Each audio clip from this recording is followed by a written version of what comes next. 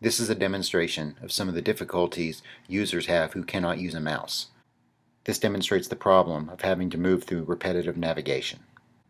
So the first thing I'm going to do is go to the Accessible U link.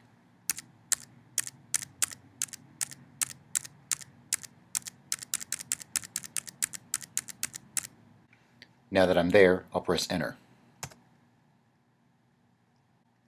So as I read this page, I see a link near the bottom that I want to go to called Inaccessible Homepage. So to get there, I'll start pressing the Tab key again.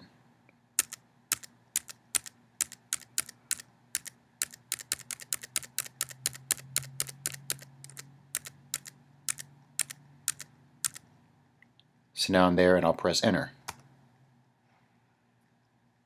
Now I'll go back a page. So now let's say I want to go to the link that says accessibility problems. I'll start pressing tab again.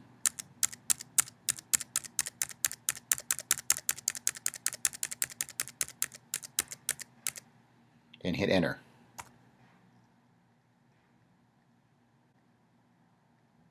Here are these same pages again, just this time with a skip to main content link implemented. Again, I'm going to go to the Accessible U link. The first time I come to this, I'm going to ignore it because I don't want to skip to the main content yet.